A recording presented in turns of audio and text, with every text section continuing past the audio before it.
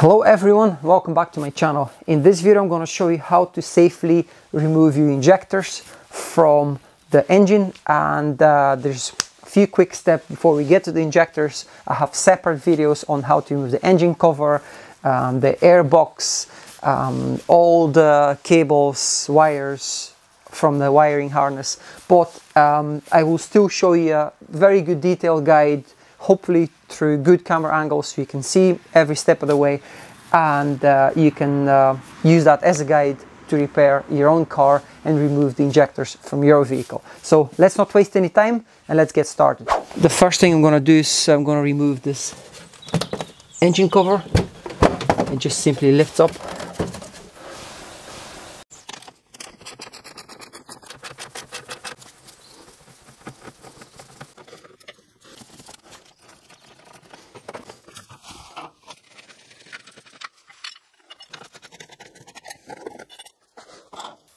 It's a good idea at this point to disconnect the mass airflow sensor.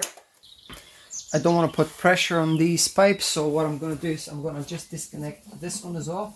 So you've got an 8 millimeter screw here, which is connected to the coolant bottle. So take that screw out.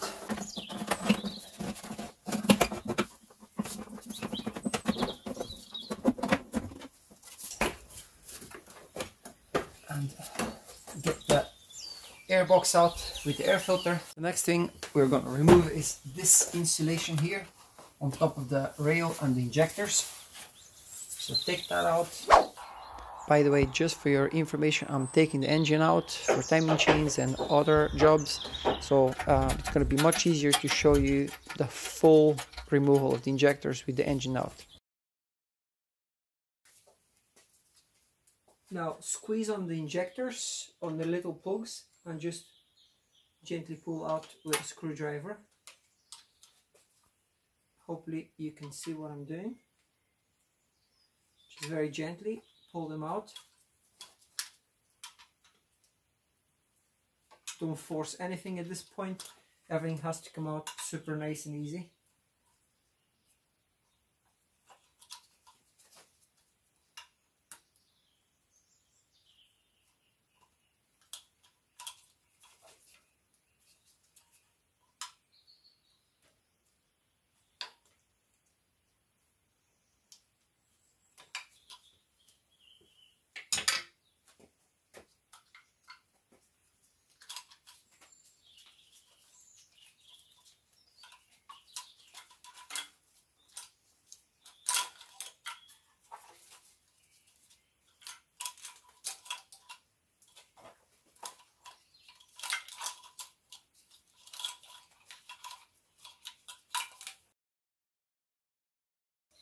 So now the whole wiring is completely removed from here. And uh, in the next step, we're going to proceed with the removal of all these fuel lines, uh, the metal pipes and the rail and all the injectors. I want to show you the correct and easy way of removing these injector return lines. There's a couple of different ways that um, people are showing on the internet and I, I noticed some of them actually damaged um, the cap here and the plastic and uh, I'm gonna run you through ISTA, the user manual, the BMW workshop user manual and I'm gonna show you how they uh, show the correct procedure of removing this. They have a special tool which we don't have. I looked up the part number, you can't actually buy it. It's only available for BMW, so we're gonna use something that anyone has in their workshop.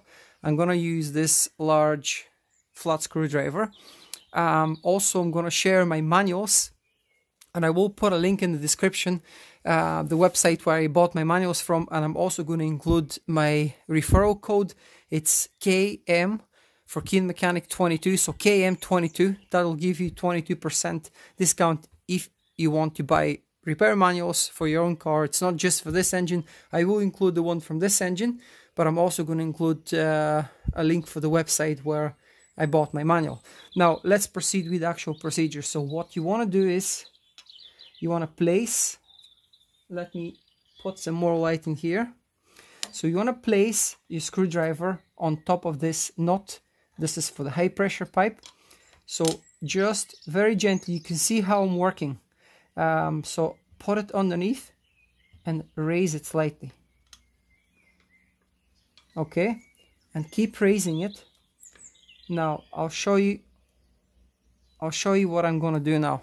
So instead of prying on the plastic injector here, don't do anything stupid. Give yourself a little bit extra support. So I have one of these and uh, just keep raising it.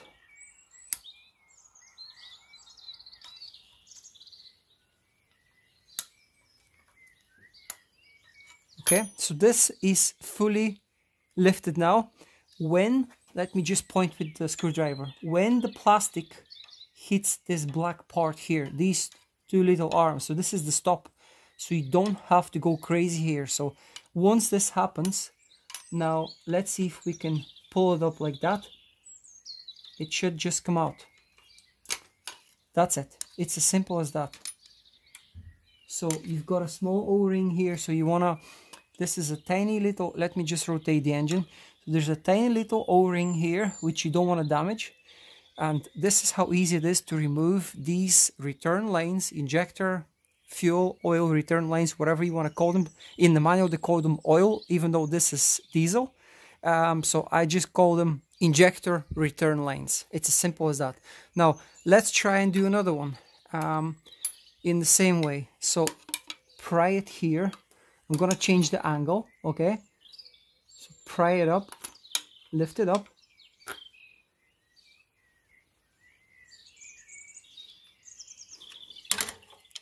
I'm gonna insert my, this is, I'm doing this just to give myself a little bit more leverage. So you can, you can use whatever you want. Just make sure your hand doesn't slip. Just be very gentle. These parts are plastic you don't want to break anything or snap anything. So gently wiggle it and lift it up. And that's the second one out. Now let's proceed with the third one. Let me just spin the camera a little bit. So hopefully I'm gonna remove this cable out of your way. And let's proceed with the next one. So what you want to do is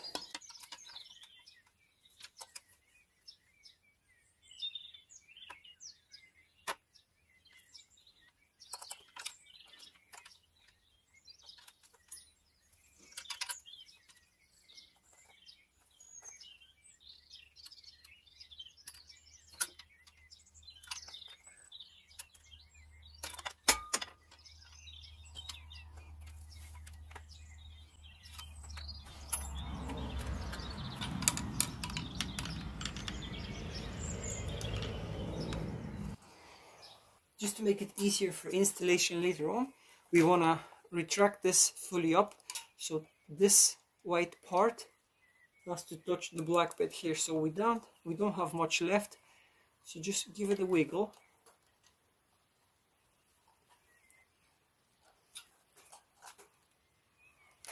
That's it. That's all you have to do. This is fully raised now. So we've gone we've done three out of six I'm gonna try and do the other one. Number four. So let's proceed with number four now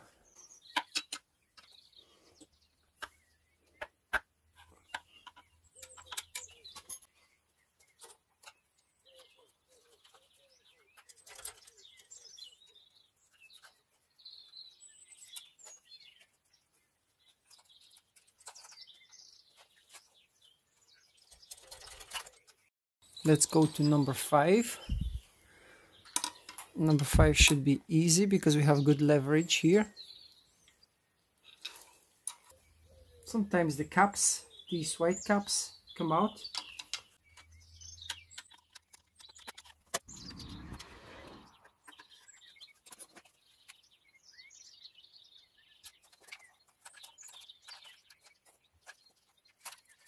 So that's return lines removed on a N57 530D. So just make sure all your O-rings are in place, they're not damaged.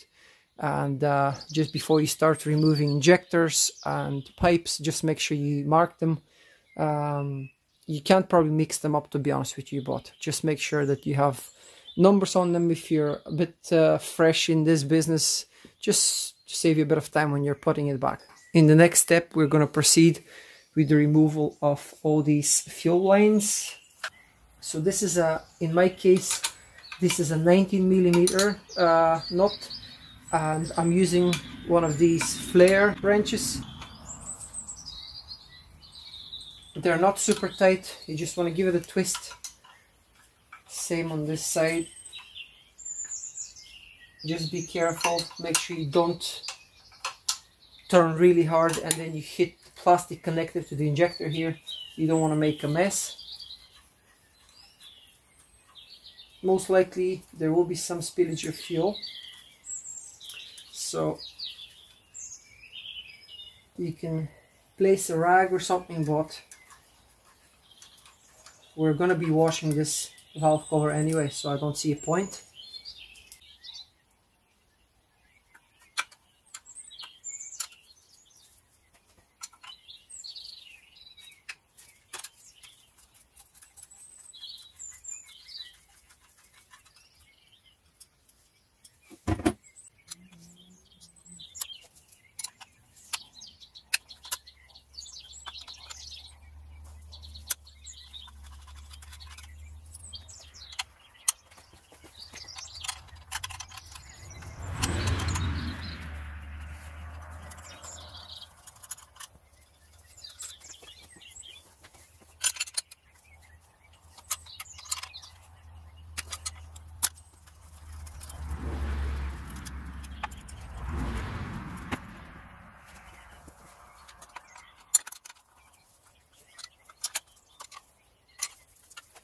On the next screen, you're going to notice that I've removed the fuel rail. Uh, don't worry about it, you don't have to remove it if you're just removing injectors. Now, these are E10 as well. Let's go ahead and remove these injectors.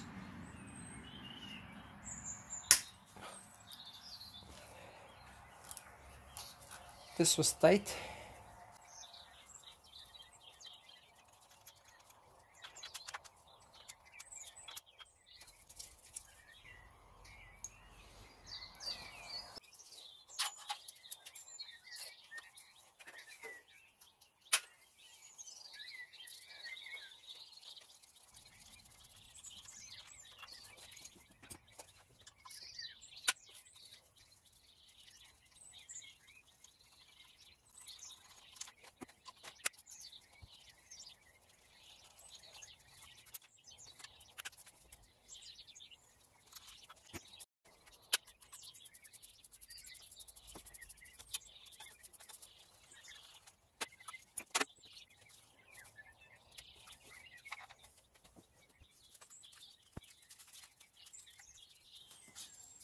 If you're wondering why I'm labeling up these injectors, uh, normally injectors are coded to each cylinder.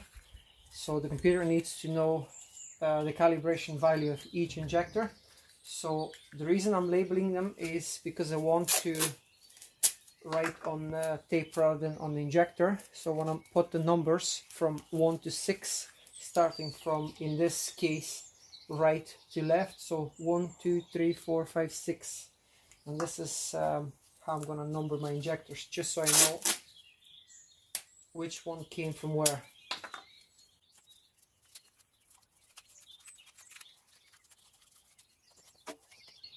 This is one two three four five and six.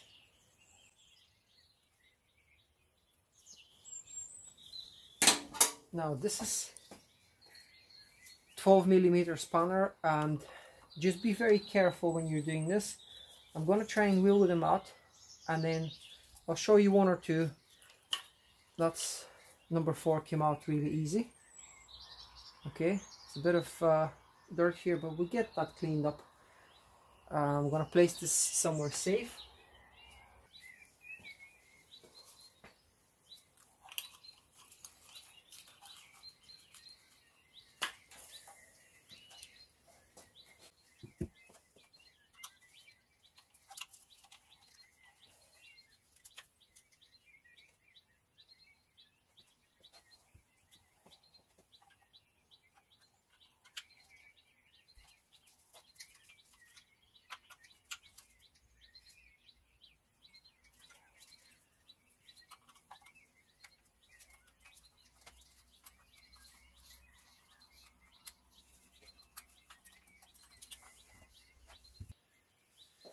We've removed four out of six. Number one and number six are stuck, so we're gonna have to get a tool and remove these properly.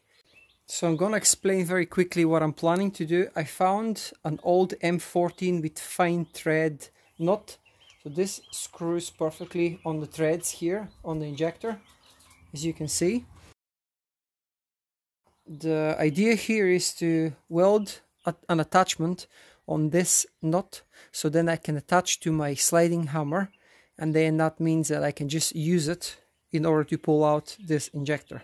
With a obviously the hammer action from from the sliding hammer because I don't want to put too much pressure and try and turn these. If they're not really going freely by hand with just a tiny bit of pressure you don't want to force too much these injectors. So you want to hammer them out and get them out of the way so I'm pretty confident that this will work with the sliding hammer. I have a, a decent size sliding hammer. So let's weld this on. Let's make a tool. And this is just showing you you don't need to buy special tools. If you have some hardware lying around the garage, you can make something yourself. Next thing I want to show you is what I've done here. So I've placed a bit of masking tape on top of the injector and I've just uh, hammered it with a wooden, basically the shaft of my wooden mallet. And this is what I'm going to do now. I'm going to show you exactly how to do it. So I don't want any dirt going inside this injector. Many people wouldn't even think about something like that. To be honest with you I want to keep things super clean and I don't want any dirt going inside this. Um, I made a tool. Actually it's a self-made tool that I've been manufacturing over the last couple of hours. So I'm going to show you exactly how it works but first let's cover this with some masking tape and then we're going to proceed with the removal of injector 6 and injector 1. All you've got to do is just get a bit of masking tape, place it on top of the injector, push it in nice and firm. I'm going to use this hammer, but I'm going to use the wooden handle of the hammer and just tap the corners. The sharp edge of the injector will cut the paper and then you can just lift it up.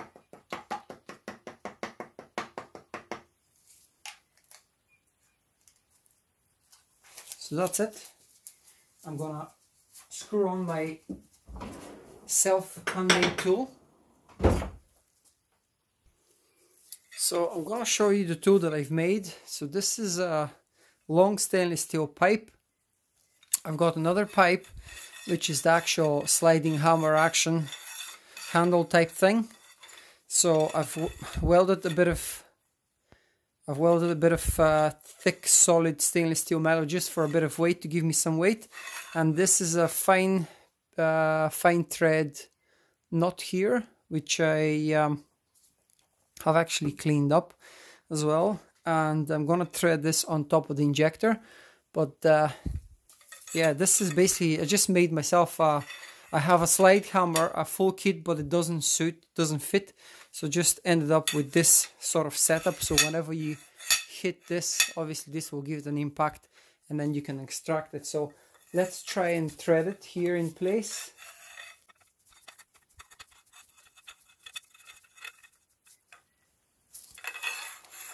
And let's see if this works.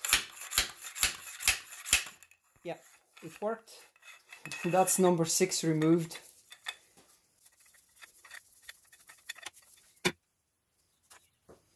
and this is really badly rusted here. Oh this is awful. I'm gonna show you the hole of number six and what it looks like inside. So I'm really glad we're doing this now. Obviously I will be I will be replacing the copper washer or the copper seal as well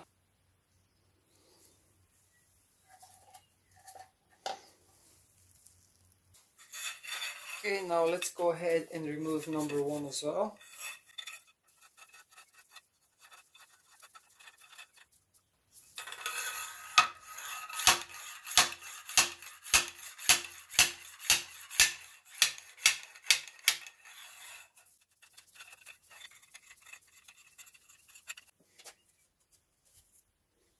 Oh my god, this is absolute mess.